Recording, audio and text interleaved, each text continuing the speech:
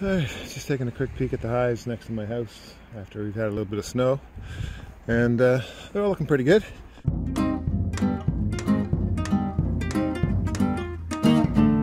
Um, this one over here, you can see, yesterday was warm and they got it for cleansing flights, but it looks like a mess, but it's not, uh, it's, it's poop outside the hive, not inside the hive, so that's good.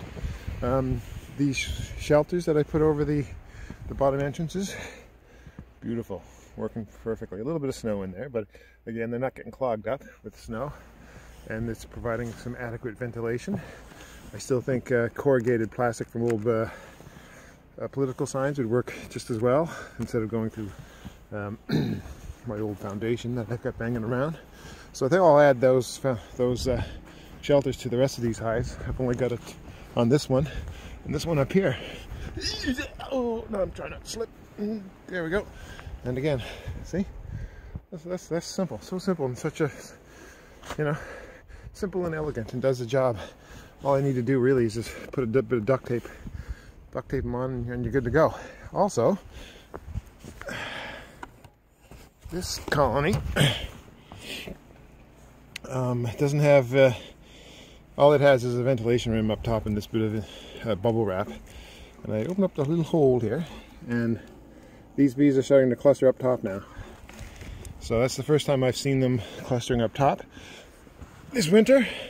So it might mean that they're, they're running low on uh, food, but it all, might also just be from yesterday. It was a really warm yesterday and they probably just broke cluster.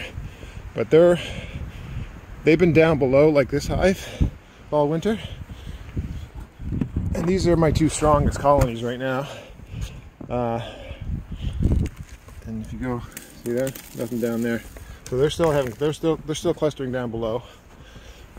Um, the only thing I think I might do for these hives not, i don't think I'm going to wrap them, but I might put a hive pillow on in, inside each of them just to give them that little bit of uh, extra warmth and and, uh, and, it'll hold a little bit more heat in uh, than what I've got set up right now.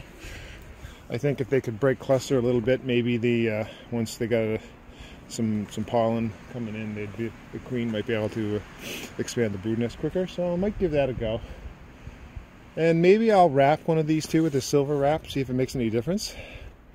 Um, I'm having mixed results with uh, uh, wrapping. Some, sometimes wrapping doesn't make any difference at all, and it's just, just another pain in the neck thing to do.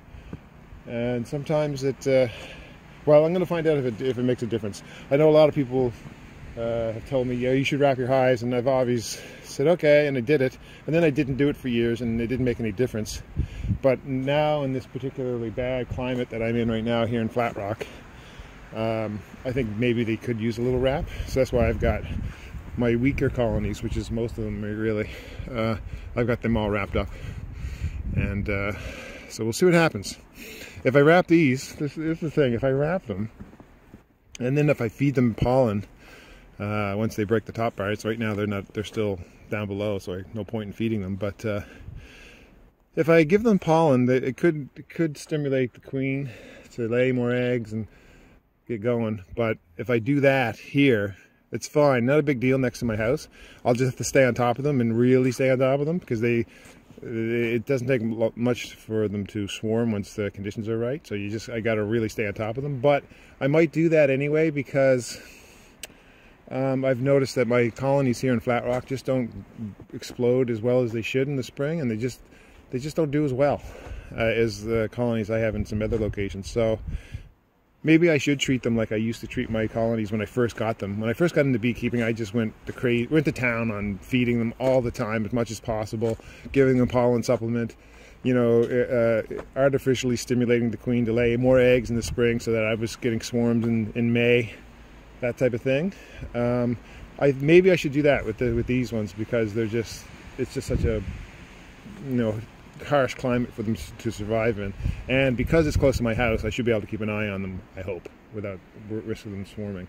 But I wouldn't do that. I wouldn't want to have like all if all of them were like that. I would never want to do that. I just do not want to stay on top of swarmy colonies. Uh, that uh, one or two, fine. But if I had to do all of them, it would just be no way. I wouldn't wouldn't can't can't do it.